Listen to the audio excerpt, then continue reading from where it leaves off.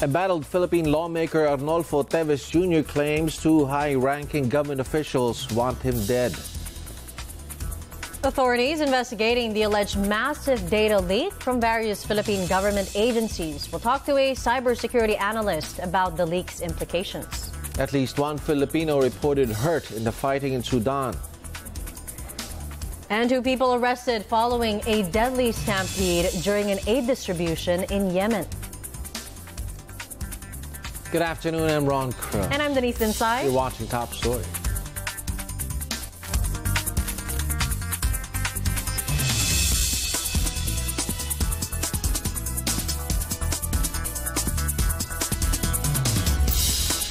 Embattled Philippine lawmaker Arnolfo Teves Jr. insists it is not safe for him to come home, citing threats to his life.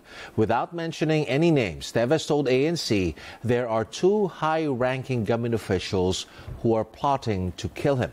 He also revealed what will make him come home and face allegations linking him to the death of Negros Oriental Governor Roel Degamo.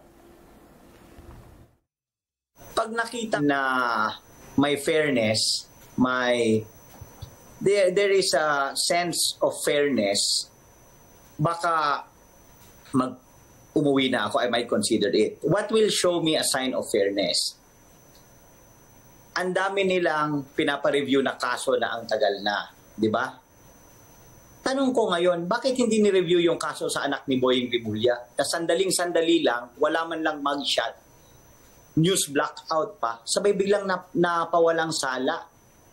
So, hindi ko nakikita yung fairness doon. That's unfair to the Filipino people. Para lang sa akin, ha? Sabay sa akin ngayon, guilty na ako sa public eye. Teves also took a swipe at the Senate investigation into Degamo's death, saying the inquiry is full of hearsay about him. Katulad kahapon sa Senate hearing, no? Uh, na nothing against um, Sen Bato, kaibigan ko naman, kilala ko naman yan, kaibigan ko yan. Akin lang, katulad kahapon, puro hearsay, pero binibigyan nila ng weight. In fact, ang na, nasaktan ako ng konti, meron pa silang pinakinggan na resource person na drug addict pala. Umami na drug addict. So anong kredibilidad ng ng resource person na yon? They're painting a picture which is ay nasaktan ako dahil mahal na mahal ko yung Negros Oriental. They're painting a picture yung Negros Oriental, lawless, lahat kinakatakutan kami. The chairperson of the Senate panel on public order and dangerous drugs, meanwhile, asserts they heard all sides in their probe on political killings in the country. Senator Ronald De La Rosa again defended their decision not to allow Congressman Teves to join the probe virtually due to a lack of jurisdiction. He also insists their end goal is to bring peace and order in Negros Oriental. The committee is uh, very fair in uh, dealing with all our resource persons. There were uh, resource persons na mga members ng Philippine National Police na nakita talaga natin na lying to the teeth yung mga yung police na yon. At uh, ating uh, dalawa Dalawang uh, resource person na police na ating uh, sinight uh, in contempt at nakakulong ngayon doon sa Senado. But meron namang police na nakita natin na uh, totoo yung kanyang sinasabi. As I have said, I don't care kung yung resource person ay tatamaan ang mga tebes. I don't care kung sasabihin ng resource person tatamaan ang mga digamo. Wala po akong pakialam. Ang gusto ko lang po, yung truth and justice at public order sa Negros Oriental ay makamit. De La Rosa suspended the hearing after three days. No date yet on when it will resume. Justice Secretary Jesus Crispin Remulla takes a swipe at Congressman Teves for his demand to see fairness in the probe against him before returning home. Remulla says flight is an indication of guilt. He also defends the ongoing investigation into the suspended lawmaker's alleged involvement in the Degamo killing. Ang tao kasing uh, guilty, iiwas talaga yun. Uh, kahit ano pa sabihin niya, humarap siya. Kung wala siyang kasalanan, humarap siya. Ang namatay sa Negros, Sam. sabi niya nakakatawa raw yung ginagawa namin. Ano nakakatawa ron? Nakakatawa ba yung namamatay, namamatay ang nine na tao tapos nasasaktan ng labing pito pa dahil sa isang utos ng isang tao? Hindi nakakatawa yun eh. The self-confessed gunman in the slay of veteran broadcaster Percy Lapid expresses regret over his involvement in the gruesome crime. Jeff Caparas now on the line with that story. Jeff? Yes, uh, Ron, self-confessed gunman in the Percy Lapid killing, Joel Escorial, has been transferred here in PNP Custodial Center in Camp Crame. Our convoy left at around 2.30 p.m. from Regional Special Operations Group Detention Facility in National Capital Region Police Office in Taguig, and we arrived here at about 3.15 p.m., and uh, he undergo booking procedure in the gymnasium. Yesterday, a Las Piñas court granted the motion to transfer custody of Escorial filed by ARSOG Chief Lieutenant Colonel Wilfredo C. C said the RSOG has no detention facility for Escorial, and because of his participation in extrajudicial confession, the safety and security of Escorial is ensured in Crame. NCRPO Chief Police Major General Edgar Alan Okubo said yesterday that Escorial will be safer in Crame while awaiting for the government's decision on whether Escorial will be turned into state witness. Escorial is thankful for his transfer to Crame, and he said his life will be in danger if detained to other jail facility for some people want him dead. Escorial also said that he regret accepting the job to kill Percy Lapid. He said if only he could turn back time, he'll choose a different path. Before the killing, Escorial is running a business and with his family, a thing that he misses the most, he said. He again pleads for forgiveness from the Mabasa family. And to make things up to the Mabasa, Escorial said he will fully participate in the case. Ron. Jeff Caparas with that story. Thanks, Jeff.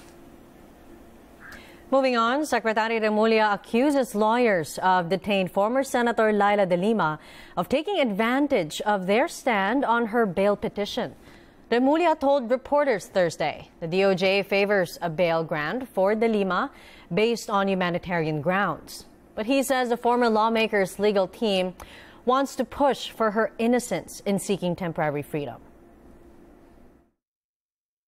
Bail as a matter of uh humanitarian ground, no, as a humanitarian gesture, is what we support here in the DOJ.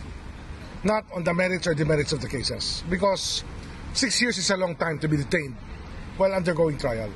I think it's very clear that uh, we want we want to give her a fair shake, no matter what, and uh, maybe a respite from from detention. But her lawyers think otherwise and think that, uh, that, that they should take advantage of this uh, opportunity to say she's innocent and that was why she should be granted bail. So, malayo ho yan. It's two big things uh, far apart from each other. Remulla's comments came after prosecutors asked the Muntinlupa court to reopen De Lima's second drug case to present a rebuttal witness. De Lima's lawyer says the move will prolong her six-year detention.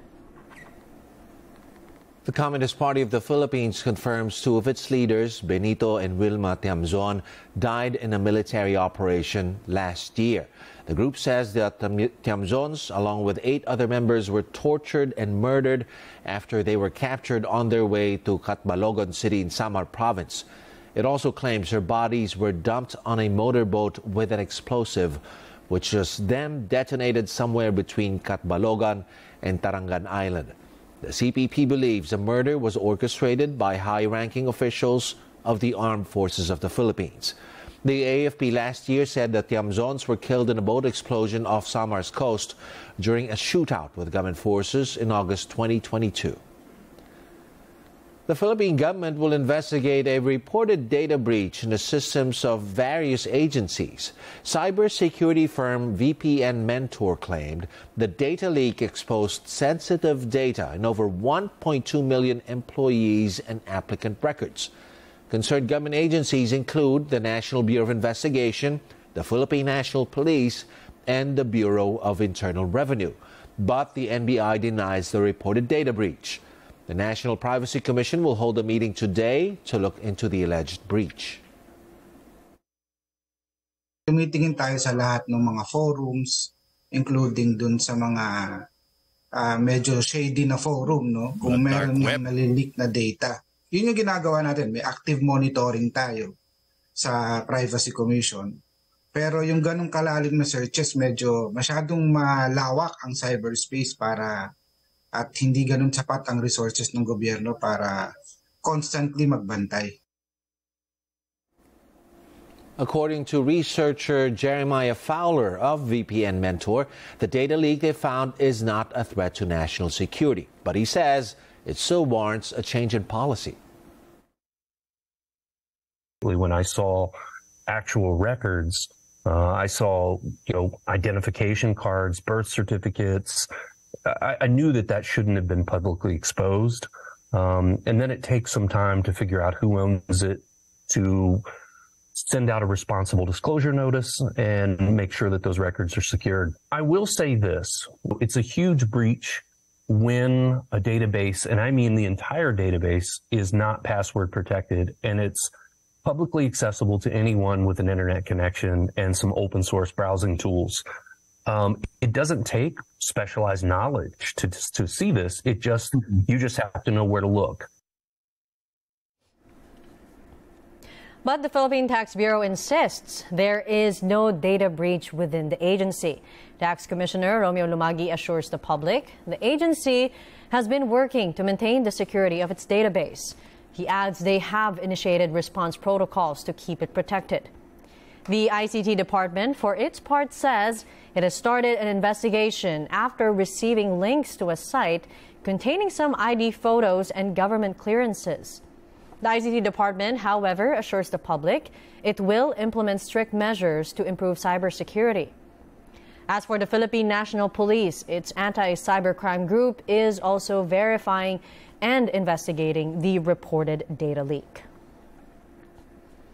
Let's try to understand the scale and possible impacts of this data leak with cybersecurity analyst Art Samaniego. Art, thank you so much for joining us. Good afternoon.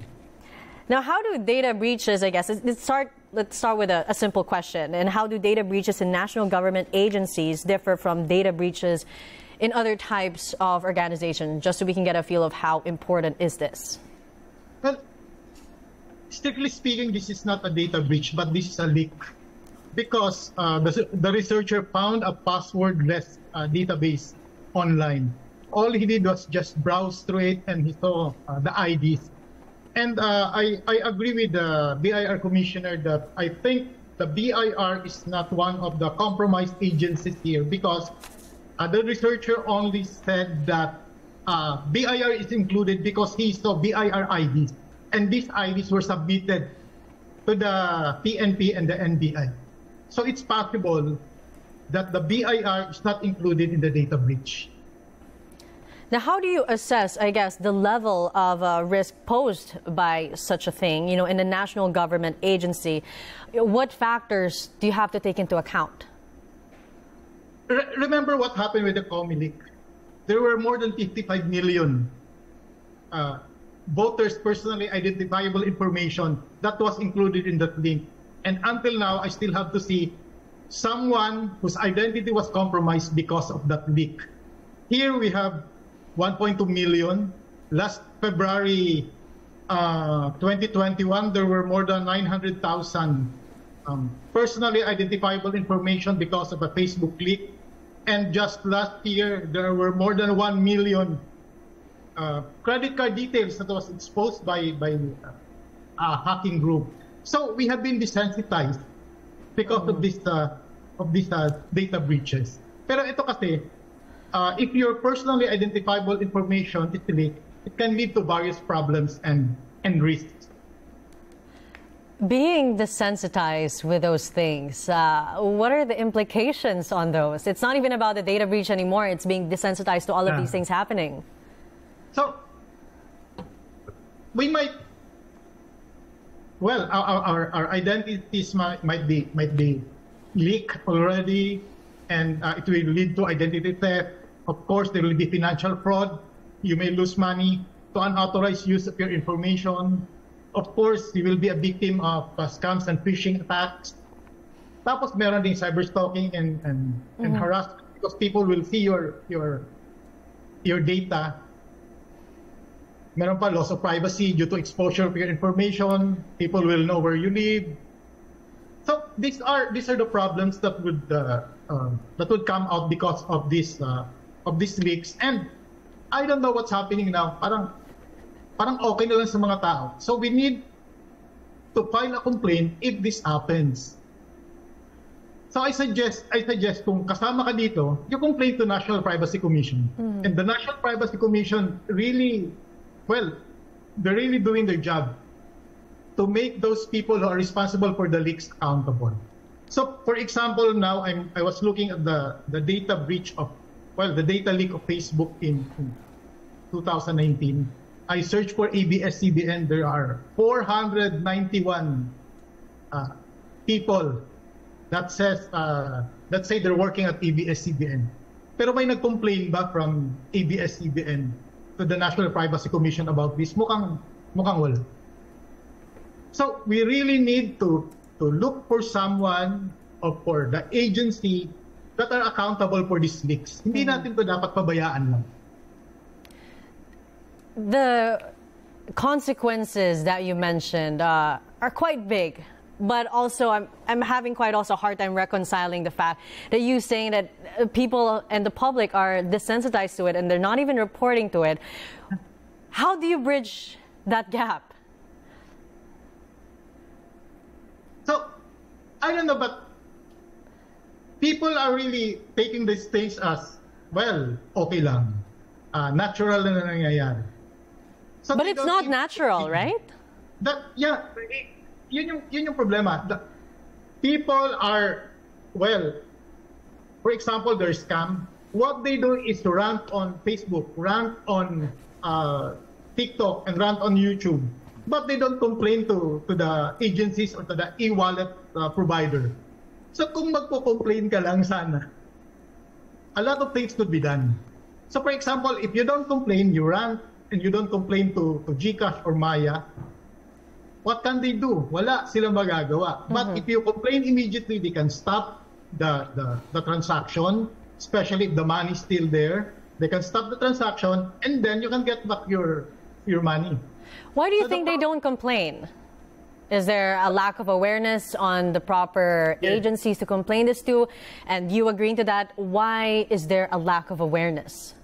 We need to educate the, the users more about uh, cybersecurity cybersecurity should be everyone's concern because if you'll be affected or if you'll be a victim of, of cybercrime, it's like having the COVID. It's not only you who will be affected.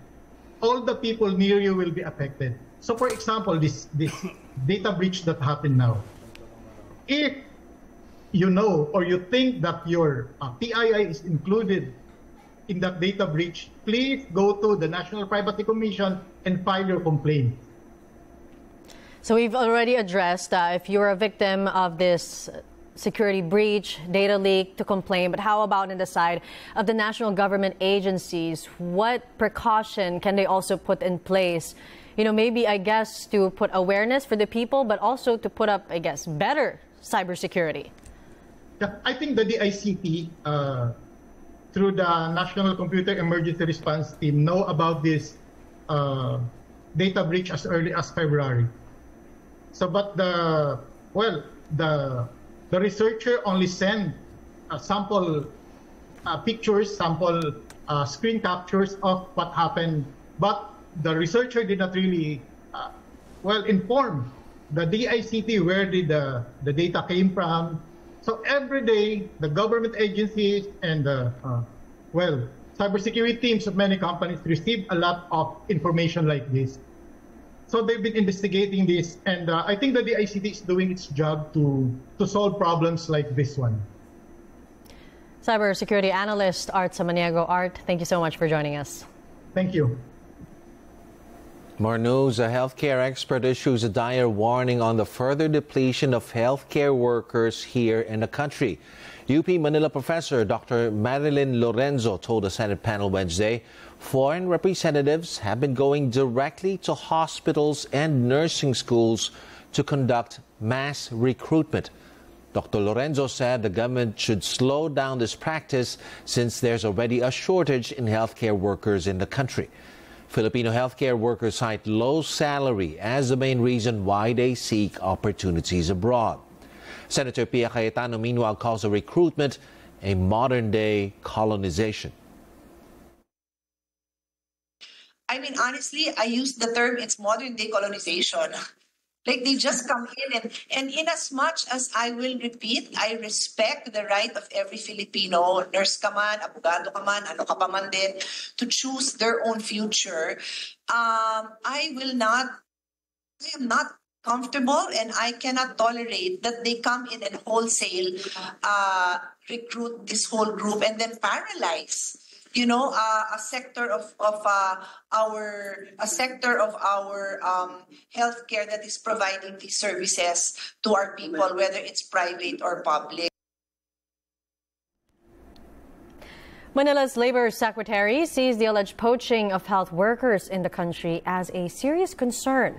Secretary Bienvenido Laguesma says President Marcos has told agencies to be on top of the situation. He also believes lawmakers must enact measures to address the matter. The president actually has uh, already directed uh, yung full of government approach where DOH, DMW, even other agencies that mm. have something to do with making sure that healthcare facilities are properly staffed and that uh, services are not hampered. This is a, a, collective effort not simply of the executive branch but also of the legislature. Mm. No? Yeah. Na magpasabi ng mga kar- karampatang batas. The Philippine Nurses Association meanwhile confirms their group has been receiving scholarship proposals from international recruitment agencies. But PNA National President Melvin Miranda says the main priority now is to keep and protect both students and professional nurses in the country definitely need a, a, consultation with us in the nursing community. Just uh, like with some of the bilateral agreements of the government, some of the nursing community, such as the Philippine Nurses Association as an organization, have not been involved in the dialogue and consultation so that we could be aware on how we will be considered on to, to safeguard as well our professional nurses. We actually uh, address this concern to the Department of Migrant Workers mm-hmm. on how we will work on this to to monitor as well since we don't they, they do not have any policies and guidelines on this. So probably this it's now the time for us to look into this as even mentioned by the Department of Labor and Employment. Mm-hmm. In other news, the Philippine Coconut Authority reveals less than half of the coco levy funds released last year for the implementation of the Coconut Farmers and Industry Development Plan were utilized. But it assured lawmakers the utilization of the budget will be improved this year. Vivian Gulia has more. It has been over two years since the measure establishing the Coconut Farmers Industry Trust Fund was signed into law. But coconut farmer Rene Serilia said he has yet to feel the benefits of the programs financed by the Coco Levy Fund. Bagal yung implementasyon ng gobyerno. Kami po ay siyam na organisasyon. Wala pa man lang po kahit isa ro nakakakuha ng benepisyo. Ng, ng benepisyo. Mm. Sa ang iniisip namin, halimbawa yung scholarship, pwede namang hindi organisado yung mga magsasaka, di ba? Mm. Oh, eh ngayon parang sinasabi nila dapat daw ay kasapi ng isang kooperatiba man lamang. Mm para doon dadali yung pondo. Nung kolektahin naman yung, yung pondo ng coconut levy, hindi sinabi na, oh, ito, kukolektahin namin ito sa mga organisadong magsasaka. During Tuesday's briefing by the Philippine Coconut Authority before the House Committee on Agriculture and Food, the PCA said out of the available initial funding of 5 billion pesos last year for programs under the Coconut Farmers and Industry Development Plan, more than 2.48 billion pesos were released. That's after President Rodrigo Duterte signed in June the executive order approving the CFIDP. But only 859.3 million pesos, or around 34% of the released amount, were disbursed according to the PCA. Among the programs for coconut farmers and their family, which were not implemented last year, were CHED scholarships, PHilMech shared facilities, infrastructure development programs under the DPWH, and health and medical programs to be carried out by a special unit within PCA. Gabriela Representative Arlene Brosas slammed the slow utilization of the funds. Ang, ang nangyari po kasi last year, uh, ang releases ng fund is mula September hanggang November. Doon pa lang nare-release yung fund at alam po naman natin na by that time, kung uh, ma ma-release ka ng November or September, halos wala ka nang magawa dahil towards the end of the year, yung ating procurement period. Yung... Kaya tayo nag-trust fund at nagsagawa ng batas na ito para mapabilis, mapadali ang pagbibigay o pagbabalik no ng pinag-uusapang bilyong-bilyong pondo ng Coco Levy sa pinag actually ano to eh mula sa mga pobreng magsasaka mahigit apat na dekada na ang nakararaan. In a statement, the Department of Budget and Management clarified that it began releasing the 2022 funds for the Coconut Farmers and Industry Development Plan in July, not in September as claimed by PCA.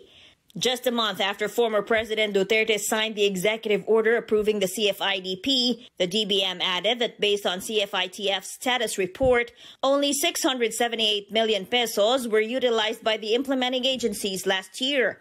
The PCA assured lawmakers it has coordinated with implementing agencies and the Trust Fund Management Committee to improve the fund utilization. The agency is also crafting implementing rules and regulations to address the issues encountered last year.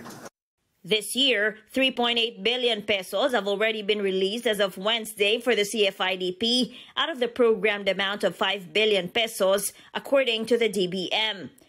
But to implement the program effectively, lawmakers stress the urgency of completing the list of verified coconut farmer beneficiaries. Of the around 3.5 million Filipino coconut farmers targeted to benefit from the Coco Levy Fund, the PCA said only 1.7 million, or around half, have been validated so far, while a total of 3.3 million have already been located. An advisor of the coconut industry reform movement issued this call to the PCA. Ang nangyayari, hindi sila naaabot nung pamahalaan.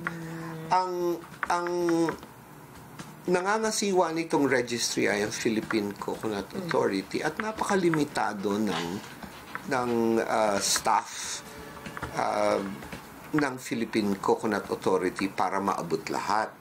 Makitrabaho po sila sa mga organisasyon ng magnanyog uh, para mas, mas marami ang naaabot nila.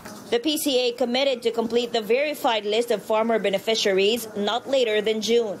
Coconut farmers also called on the government to allow their sector to be represented in the Trust Fund Management Committee for the Coco Levy funds.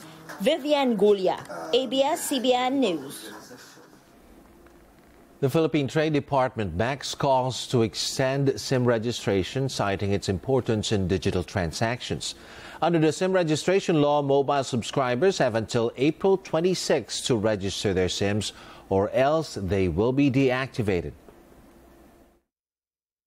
Digital payments are what we need to happen to further promote and develop our MSMEs because that's how they can uh, facilitate accessing the market and being able to sell uh, online. If we really need registration, uh, we need to be able to accommodate such uh, dynamic. Personally, I, I, would go for it, but I don't know the official position of uh, the concerned department.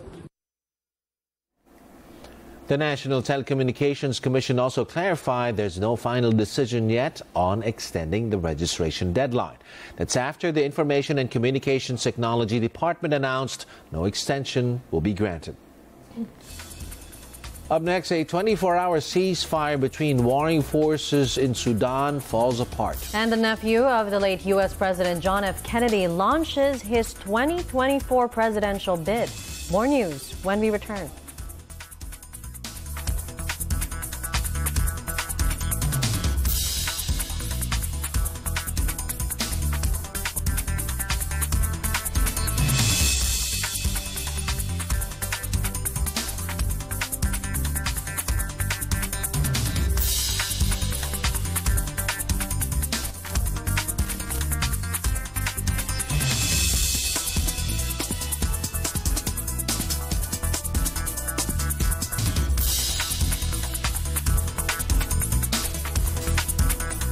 You're watching Top Story here again at the headlines. Embattled Philippine lawmaker Arnolfo Teves Jr. claims two high ranking government officials want him dead. Authorities investigating the alleged massive data leak from various Philippine government agencies. At least one Filipino is reported hurt in the fighting in Sudan. And two people arrested following a deadly stampede during an aid distribution in Yemen. Officials and forensic investigators visit the site of the deadly stampede in Yemen. Hundreds in the poverty hit country had gathered at a school in the capital, Sana'a, to receive aid. At least 79 were killed in the crush, and more than 100 others were injured, 13 of them in critical condition. The Interior Ministry says the event organizers have been detained and an investigation is underway. The tragedy comes days ahead of the Muslim holiday of Eid al-Fitr, which marks the end of the holy month of Ramadan. A new attempt at a ceasefire in Sudan fails. The 24-hour ceasefire was sought by countries trying to evacuate their citizens after days of conflict. But witnesses say the fighting between Sudanese troops and paramilitary forces continued. At least 270 people have died and thousands more have been injured in the clashes. Food supplies are now running short. Civilians also lack access to medical services. Uh, we reiterate to the parties to the conflict that they must respect international law. They are obliged to protect civilians and ensure the safety and security of all United Nations and associated personnel, as well as their premises, our assets, and trapped civilians must be able to receive assistance access essential supplies and evacuate to safer zones as needed. Nearly one third of the population was already in need of humanitarian aid at the start of the year. Uh, now, our humanitarian colleagues are warning that people in Sudan are running out of food, they are running out of fuel, and they're running out of other vital supplies. Many, many need, urgently need medical care. We desperately need that humanitarian pause so the wounded and sick civilians can reach hospitals. A Filipino worker confirmed to have been injured in the violent clashes in Khartoum. The Foreign Affairs Department says the person was hit by a stray bullet and is now at a hospital. The agency is also looking for ways to help the 80 Filipinos who have requested to be repatriated. The problem nga lang, hindi sila mauuwi because the flights, uh, there's no flights. The embassy is planning to send a team, no? Uh, what they call a rapid response team. Uh, and we're working with the NARICO to check kung merong land transportation to drive them from Khartoum, the capital of uh, no, Sudan, Sudan, to Egypt. Some 67 million children worldwide missed routine vaccinations between 2019 and 2022 due to lockdowns and healthcare disruptions brought by the COVID pandemic. That's according to a recent report by the United Nations Children's Agency, which highlighted a global decline in the public perception of vaccines for children. 52 out of the 55 countries surveyed expressed distrust in routine immunization leading over 48 million children to completely miss out on vaccinations.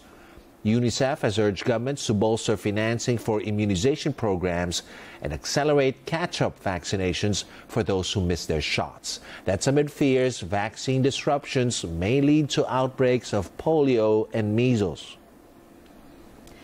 A Kennedy has joined the race to the White House. Robert F. Kennedy Jr., a member of the storied U.S. political dynasty, announced his presidential bid as a Democratic candidate challenging Joe Biden. Kennedy Jr. is the nephew of former U.S. President John F. Kennedy, who was assassinated in 1963, and a son of former Senator Robert F. Kennedy, who was also assassinated in 1968 during his own presidential bid. The 69 year old is a known anti vaxxer and has been banned on YouTube and Instagram for spreading misinformation about the COVID 19 pandemic. My mission over the next 18 months of this campaign and over my throughout my presidency will be to end the corrupt merger of state and corporate power that is threatening now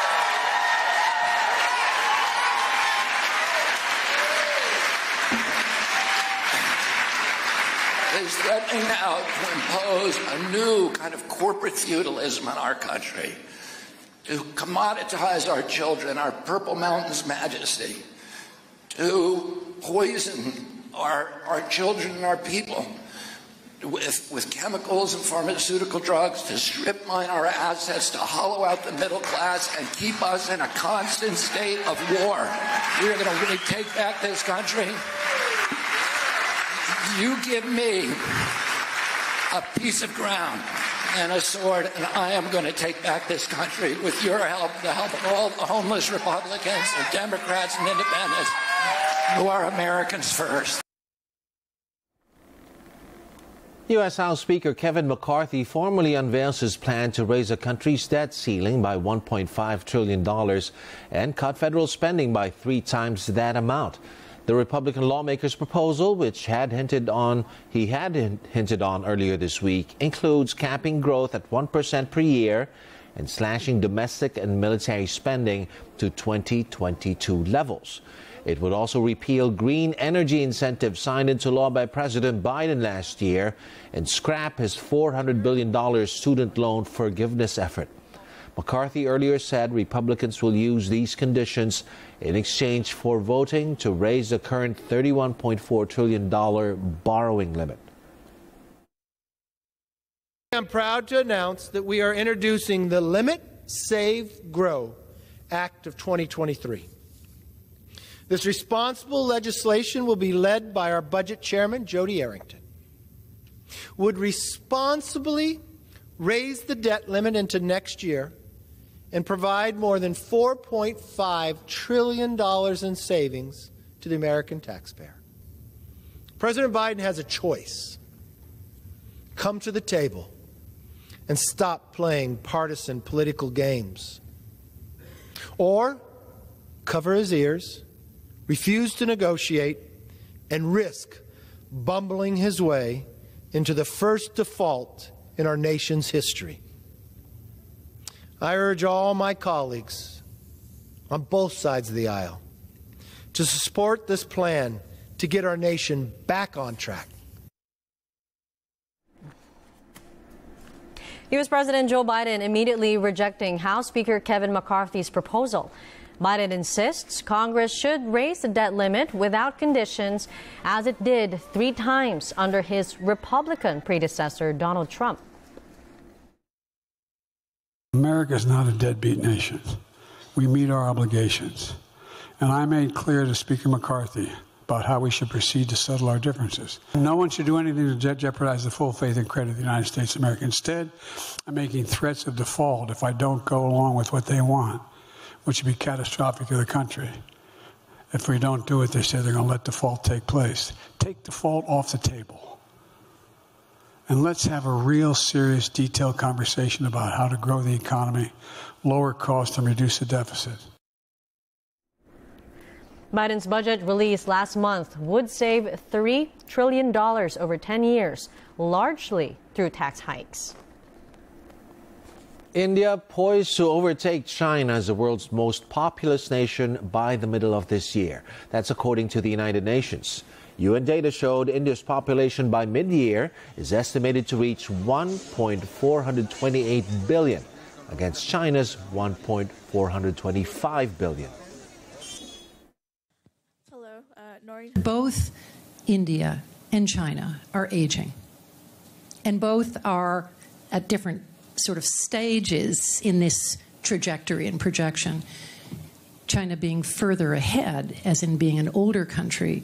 But the challenges of preparing for population aging are everything about demographic resilience, knowing the projections, being confident about the plans, and beginning to re examine social policies, including pension policies, to, to provide. Hospitals across the country.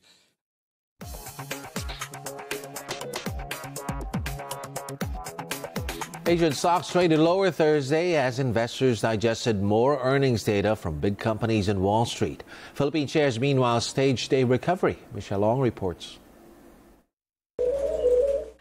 Asian stocks and U.S. futures were broadly lower on Thursday as investors digested mixed earnings and looked ahead to the Fed's next policy move early May. The MSCI Asia Pac Index down for a second day, led by China and South Korean markets. Philippine shares were the bright spot for the day. The index back above a crucial resistance, 6,500, supported by net foreign buying of half a billion pesos. First Metro Securities Royce Aguilar attributes the strong finish to an earnings blowout from big banks. As a matter of fact, today it's mainly because of the BDO drove the the market today because of its better than expected first quarter earnings. It's it's uh, besides that also BPI uh, okay. disclosed it's, it's so better than expected banking earnings so far and it makes sense given the high interest rates but nevertheless it's it's a good start to a long uh, uh, to, to an expected set of release of corporate earnings in the, in the coming weeks. AIA Philippines Mike Bengson says, given the high rate environment and macro uncertainties, they're overweight on bonds while keeping a wait and see stance on risky equities the chance, the, well, the risk of uh, recession has actually increased uh, given the, uh, we, we think credit conditions are tightening in the U.S. following the banking uh, issues. Uh, we think the likelihood of a recession is now higher mm-hmm. than before. Uh, and given that view, I think stock prices have not yet reflected. People are still wait and see at this point, right? Mm-hmm. Uh, and I think to, to, to give you a short answer, I, I, I, I don't think it's fully reflected yet. So if we if we are still expecting further downside in the U.S. market, and corporate earnings in the U.S. likely to be downgraded further, uh, there's going to be an impact on our economy and and and and, and uh, risk of sentiment as well that's going to be transmitted here. Mm-hmm. Uh, right. So I I, I think uh, you know we could have a better window to buy uh, equities uh, maybe sometime later in the year. In corporate stories, BPI on a roll after a banner year. For 2022, the Ayala-led bank posted a 52% jump in net income for the first quarter of the year at 12.1 billion pesos. It cites average asset base expansion, margin growth, and lower provisions. Non-performing loan ratio improved to 1.8% from 2.4 in March 2022 while rival BDO also grew its January to March 2023 earnings 41% to 16.5 billion pesos. With hope, loans growth will stay strong at 8 to 10% this year, despite macroeconomic headwinds from elevated inflation, rates, and a looming slowdown. Atlas Mining, owner of Carmen Copper, reports a 78% drop in net income for the first quarter of 2023, citing lower grade and milling tonnage, as well as the absence of a one-time non-cash gain booked in 2022. According to Atlas Mining, copper metal price for the period was 11% lower at $4.05 per pound, while a slight increase in gold prices helped offset some of the pain. During the period, Carmen Copper also managed to pay down its loan obligations by another $15 million from internally generated cash. We're ready for these kinds of shocks. And then at the same time, taking advantage. I, I always believe in crisis that there are people that can gain and take advantage. Meanwhile, COO and incoming president and CEO of construction giant EEI, Henry Antonio, confident healthy backlog can sustain them through 2025 as more new projects start to come in based on government's Philippine development plan. A 58 billion peso backlog. Uh, the, the, the turnover in our backlog is about two to three years, depending on the duration of the projects, as you know. Infrastructure being longer, buildings take about one to two years to build, uh, and then there are some short spurts for light industry, et cetera, et cetera. But it's a fairly healthy backlog. Uh, you can compute uh, if your turnover is about 2%, 2, 2.5, we have 58 billion before new orders. You can figure out where we're going to head out in 2023, 2024, and 2025. Mm-hmm. Of that 58 billion, we're looking at roughly about 32 billion here domestically and about 26 uh, billion uh, in in Saudi Arabia. That's substantial the contribution of your Saudi Arabia joint venture. Yes, we have 9,000 people there. The Skyway Stage 3 and MRT 7 builder is confident despite short term shocks from elevated costs and interest rate squeezing margins, the country remains in a growth trajectory. And Puma Philippines country manager Paulo Misa bullish about demand for the athleisure brand's products, saying they will need more inventory just to keep up with demand. Um, last year we finished up and it was barely a full year. Um, we finished up double the best year of our distributor. We're actually in need for more towards the second half. Actually, we're looking for because we're opening as as you mentioned, we're opening an additional 20 to 25 stores in the next two years. Um, eight to 12 of those will be uh, the second half of this year. Um, and a lot of these stores, to be honest, you know, we did not plan to be uh, performing as well as we as as, as they are. Um, so you know, we might need to top up among the Southeast Asian markets. Uh, Philippines has a bit of a threshold, a higher threshold when it comes to average price. So we're slightly higher than the rest of Southeast Asia. Of course, not, not counting Singapore. Which Misa adds while most products are manufactured in China and Vietnam, the brand is open to moving some of it to Manila. Michelle Ong, ABS-CBN News. Philippine economic managers approved two measures aimed at promoting social and economic growth. Secretary Arsenio Balisacan of the National Economic and Development Authority said these include an executive order on the country's tariff commitments under the Regional Comprehensive Economic Partnership, or RCEP, and the Social Protection Floor, or SPF framework. Balisacan says the SPF will give better access to healthcare and other social services to the vulnerable population. The intention uh, is to institutionalize the, the, the existing uh, programs, especially those that have been proven to work, so that uh, uh, we, don't have to restart uh, all over again when the, there are need to uh, provide support to vulnerable groups. No? You, you, know, we are a country that uh, uh, uh, that are exposed to a lot of risk. particularly now we have climate change risk, and we want to make sure that when these vulnerable members of our society are exposed to this risk, uh, that, that, do not uh, uh, fall to poverty, you know, um, because of those exposures, no? so that we can sustain the progress we are making in poverty reduction. On the RCEP front, Trade Secretary Alfredo Pascual says after the issuance of the executive order, the focus now is on informing businesses on the benefits of the world's biggest free trade deal. We will start with uh, a major event, which is uh, the launching of uh, the export development plan, which we have been drafting over the past uh, few months. Uh, this will cover the period 2023 to 2028.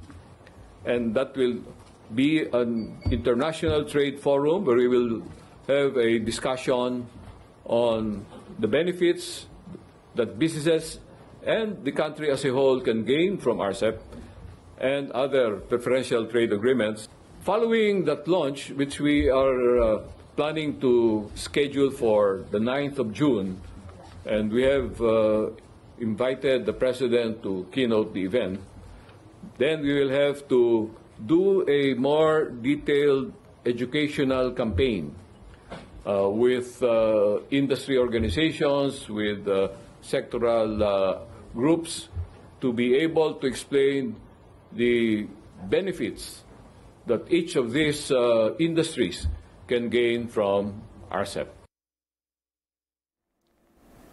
The Philippine Appellate Court First Division upholds a money laundering conviction of former RCBC manager Maia Deguito. This is in connection with the $81 million heist on the Bangladeshi Central Bank in 2016.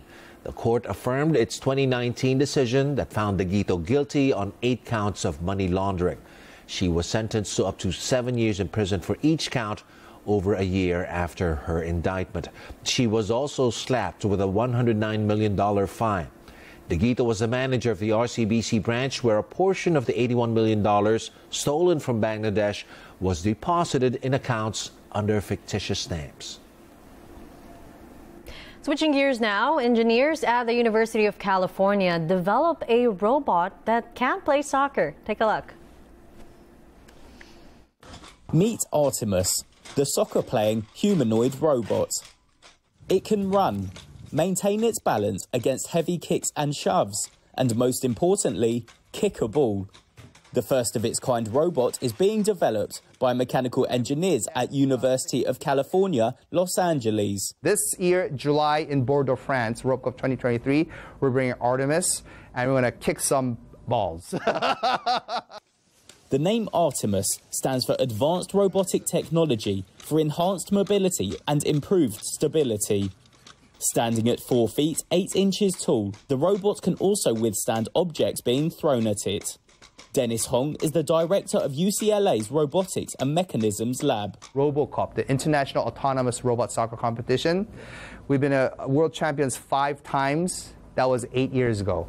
I think it's about time for us to come back to uh, a uh, RoboCup with Artemis. The robot's major innovation is its custom designed actuators, the devices that generate motion from energy. The engineers designed them to behave like biological muscles. They are springy and force controlled rather than rigid, position controlled actuators that most robots have. For robots to be living with us in this environment, the robot needs to be human shape and human size or humanoid robots because this environment is designed for humans. So unless the robot is a humanoid robot, it won't be able to navigate this environment. Artemis's actuators are also unique as they are electrically driven rather than controlled by hydraulics. This makes it quieter, operates more efficiently, and also cleaner, as hydraulic systems are notorious for leaking fluids. Hong says the technologies used for soccer playing robots can also be used for other applications. As a matter of fact, we have robots that we're using for firefighting and disaster relief. And the interesting thing is all these technologies we develop for so soccer playing robots are being used for these more important uh, applications. Robotics student Justin Kwan hopes this technology will go towards improving people's lives. People who are struggling, you know, medical robots, uh, that's sort of the, the, the thing that I want to do. Um, so seeing these robots, you know, helping push the, the robot like technology to that next level uh, is like really rewarding because you're like, oh, the dream, it gets closer.